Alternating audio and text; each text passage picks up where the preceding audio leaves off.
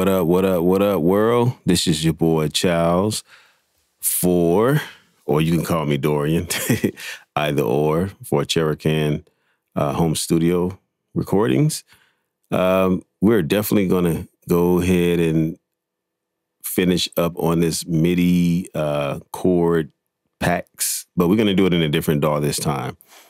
Uh, what we did in Cubase 11, so we're going to do it in Reason 11.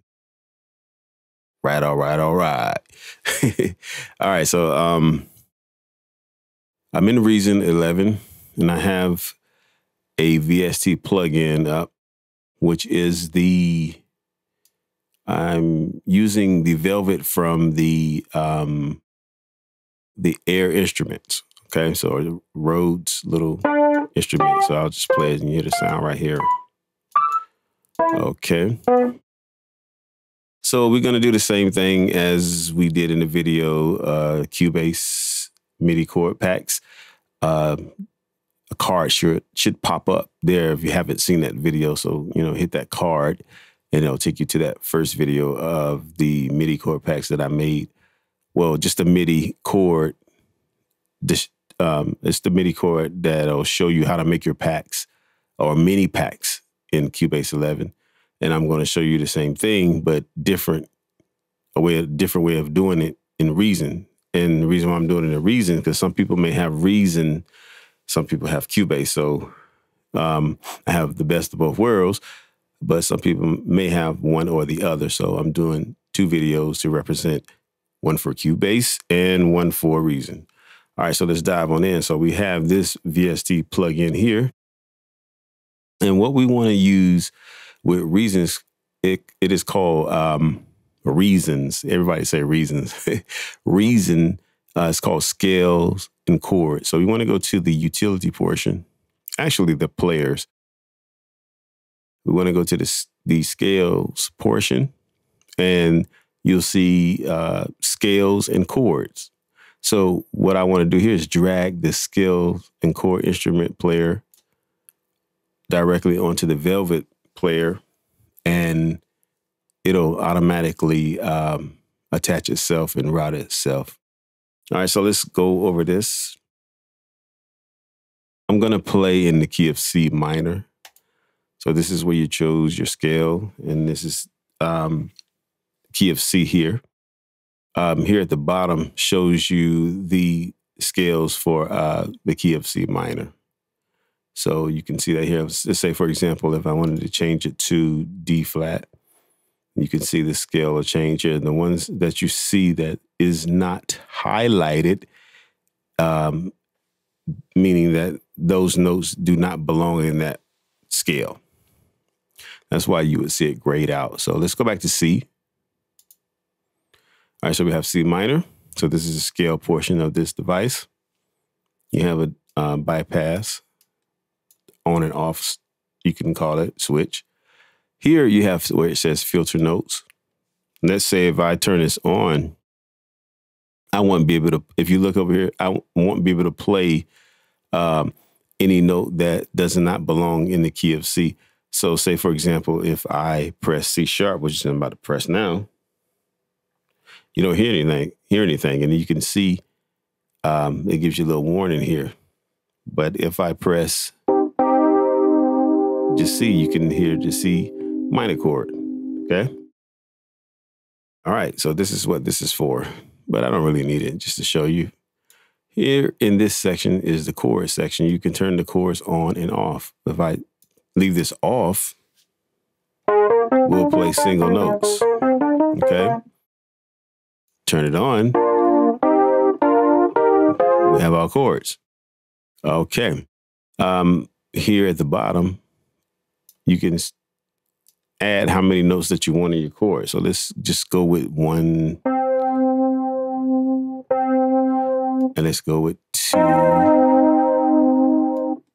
Triad. Seven chords. And ninth chords. So go on and on. And you're just adding color.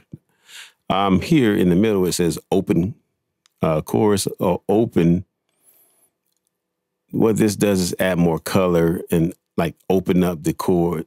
I didn't say chords, I mean chords. Open up the chords a little more. So let's try, let's listen to C chord.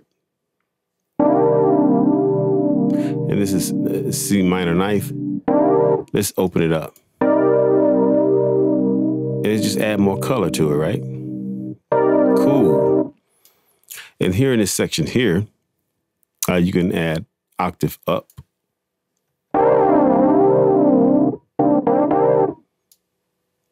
And octave down. You can add that in there and add some more color. I actually like that. That's dope with those knife chords. That's kind of smooth, man. Oh, I like that. All right, so let's let's go back and just take these off. Now let's say if I want to alter alter, meaning that I could press the I could press the C minor chord. and Press it again when I hit Alt. See how it changes?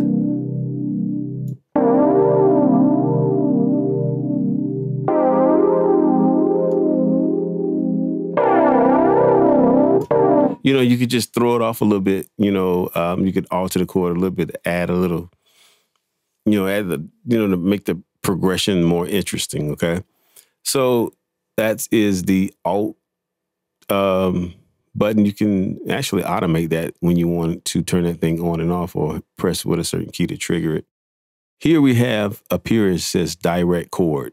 I'm um, direct record. Basically, what this does uh, say, for example, if I'm playing the keys of if I'm playing a particular chord progression, and you know, when you actually record, what you will see, and when I play, it will just only be one note, and that one note will be triggering the chord, depending on which uh, note that you're pressing on your keyboard. Um, with this turned on, this will actually record all of the notes that belong within that um, C chord, C minor chord. Um, here, where it says send to track, if I chose this, this will actually, uh, once I do the recording, and I'll give that example um, once I record in a few minutes, and this will also give you the full chord depending on which chord that you're using. So let's go ahead and try and test this out. I'm going to leave this on and we'll go from here. Start from the beginning. Uh, I'll just go 120. Um, we'll do 120 um, tempo. And let's go ahead and hit record. Well, let's loop it. Okay, and I like to have my pre uh, chord going on. Okay, it's just something a little basic.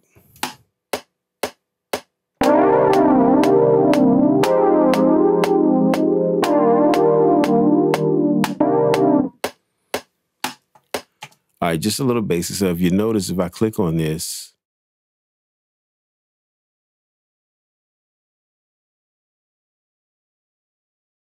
okay, if I click on it, just see one note, right? And all that doing is triggering the other notes. I mean, just triggering this the C chord to play the full chord. So I'm gonna play it. Let's rewind it.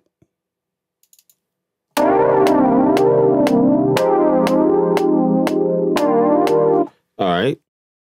So if we we don't want that, if we want the full chords in there, we can get out of here.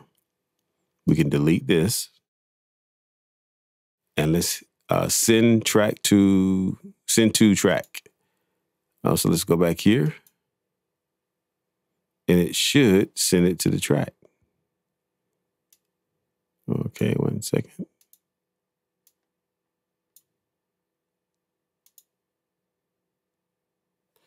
Uh, wait one second. Let me do something here. Okay. There we go. All right. All right. So I can delete this because I won't need this anymore. And if you look here, you'll see all the chords that are here. It generated what the chord that I pressed on the keyboard, the single note, and this is like for C minor, and this could probably be I could remember, but it'll tell you the name of the chords. It'll spell out the chords here in the keyboard top portion right here. So this is what this does. Now, let's get out of this. Let's say I want to use the record direct, direct record. And let's watch and see what this will do.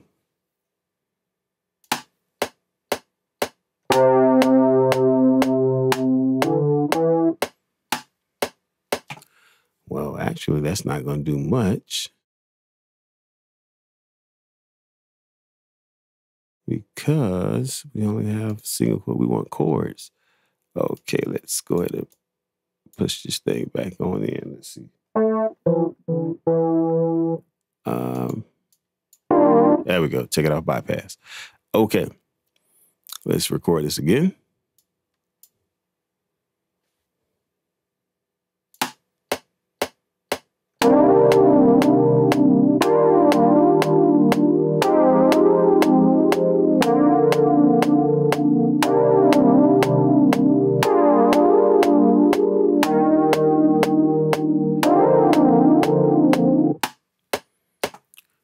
If you notice here,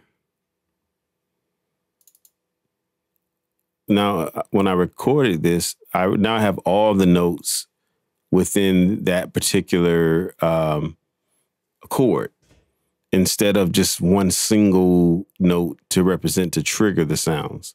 So this is what you can do with these two things here. Okay.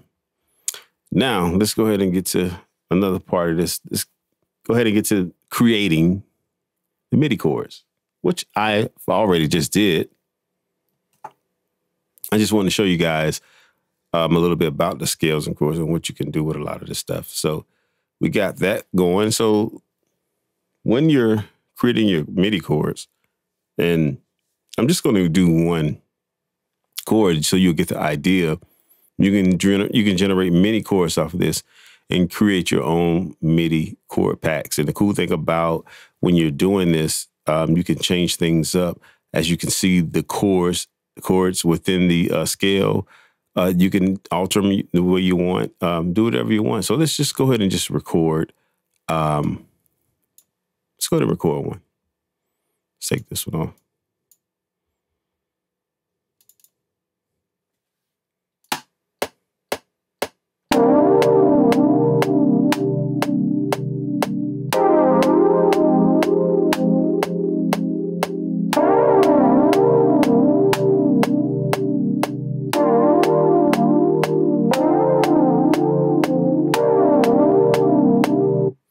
Right, so we got us a little chord thing here going on.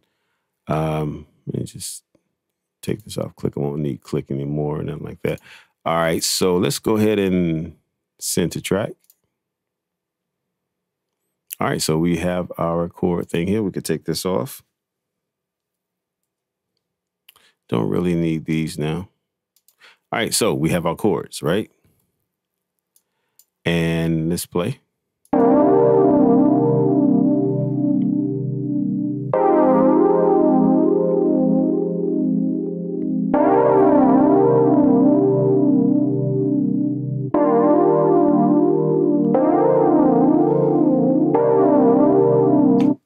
Okay, so here is your MIDI chord pack. Again, let's click on it.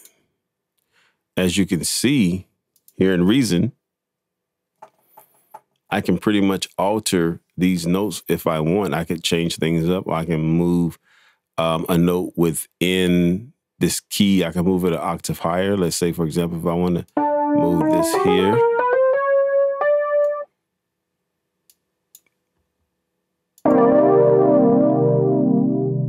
Do whatever you want. You can change the color, do whatever you want. You know, let's put this over here. Oops, there we go.